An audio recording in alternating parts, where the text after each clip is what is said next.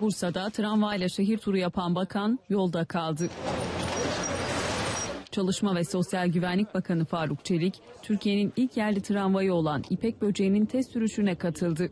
Yolculuk boyunca yetkililerden bilgi alan Çelik, tramvayın tasarımını inceledi. daha e, üretilmesi gereken, mesafe almamız gereken e, çok e, hususlar var. İnşallah bunları el birliğiyle gerçekleştireceğiz. Tekrar e, hayırlı olmasını diliyorum. Tramvay, raylara park eden bir otomobil nedeniyle durmak zorunda kaldı.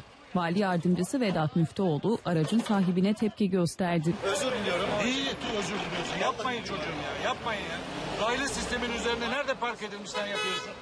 Bir saattir herkesi rezil ettin ya. 40 dakika boyunca yolun açılmasını bekleyen Bakan Çelik daha sonra şehir turunu tamamladı.